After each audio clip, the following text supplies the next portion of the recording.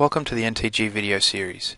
In this video we're going to demonstrate how to connect to NFS, particularly using your VMware environment, and some of the benefits that you might see because of it.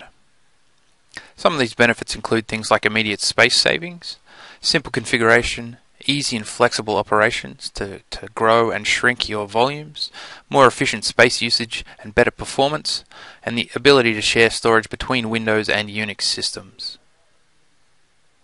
Our demo environment today consists of two ESX hosts, one vCenter server, a couple of FAS 3140A uh, controllers, plus some disk shelves and some virtual machines.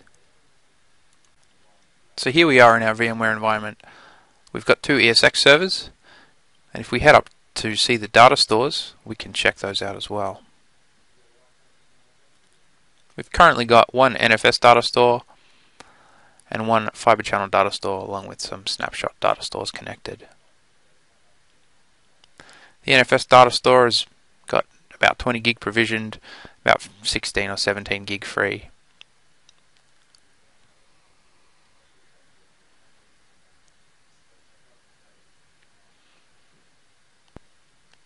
If we click on the cluster, we go down to the NetApp menu option, go to provisioning and cloning, we can add in a new NFS data store to both ESX hosts fairly quickly.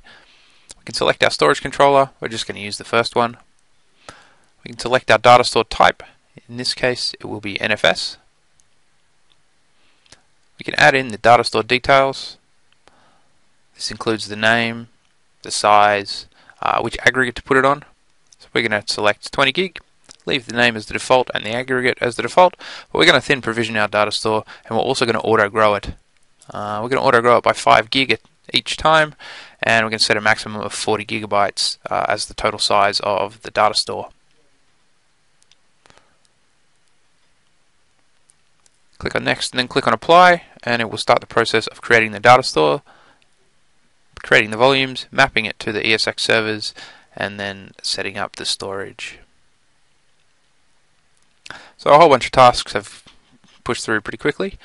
Um, the one down the bottom is the main one, that, that NetApp data store allocation. As soon as that gets to 100%, we know that the data store is ready. If we head into the hosts, we can see that that data store has not yet been created, but if we head up and uh, the, those last two tasks have been created there, and as it's refreshed, that new data store is now available. Um, that data store is available on both ESX servers. Uh, it's been created for, it would be created for all servers in the cluster.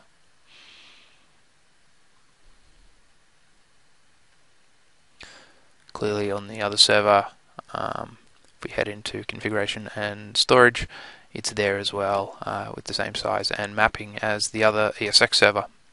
If we go down into System Manager, we can do a refresh and see that that new volume has become available. If we check out the space usage, we can see that obviously we haven't used any space yet. If we head up to edit, we can look at the settings that the volume has been created with.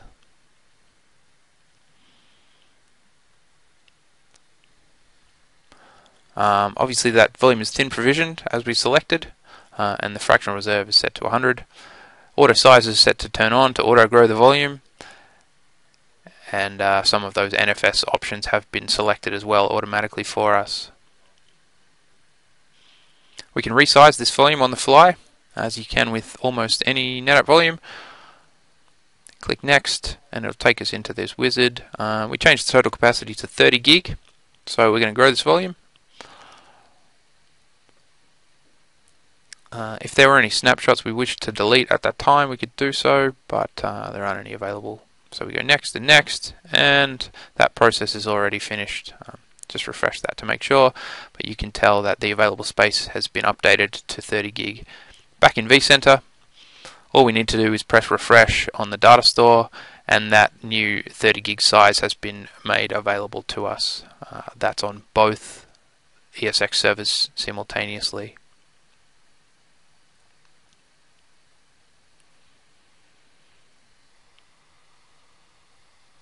If we go back into System Manager, resize again, um, this time we're going to resize it down. We're going to make it 5 gigabytes. I'm going to change the snapshot reserve to 20%. This is something you might want to do if you wanted to store more snapshots. Click next and then next again. And once again, that volume size has been changed down to 5 gig total. Back into Virtual Center, we can once again press refresh on the ESX server storage and we'll be able to see that that available space on that data store has been changed to 4 gigabytes. Um, obviously the extra 20% is that 1 gigabyte that is not visible in here, but that is visible and available for your snapshots. If we migrate this machine, we can see that the uh, data store is available, ready to use. We can move this machine across to that new data store without any problems at all. While doing that, we can see that the other NFS data store is getting a little bit low on space. Of the 35 gig, there's only 11 gig free. So let's head over into System Manager and we can turn on deduplication on that data store and use that extra space on the fly.